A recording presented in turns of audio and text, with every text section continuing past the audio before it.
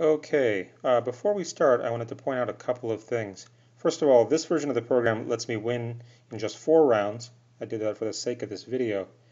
And uh, second, I don't know if it's going to show up in the video or not, but there's this very brief LED flash that's going to happen between uh, digits, and that's so important for getting your timing right. So let's see how this goes. I'm going to start the game. That's a 3. That's 3, 2, 1, 2, 3. Pause, 1, 2. 3, 2, 2, 1, 2, 3. Pause, 1, 2. Pause, 1, 2. 3, 2, 2, 3. 2, 3. Pause, 1, 2. Pause, 1, 2. Pause, 1, 2, 3. And look, I won.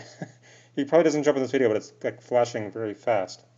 Now we can play again, and I'll try to lose, which won't be hard. One, one, one followed by two. I'll do one, one, two, three, and then it starts to blink kind of slowly and sort of sadly, which means that I've lost. And basically that's it.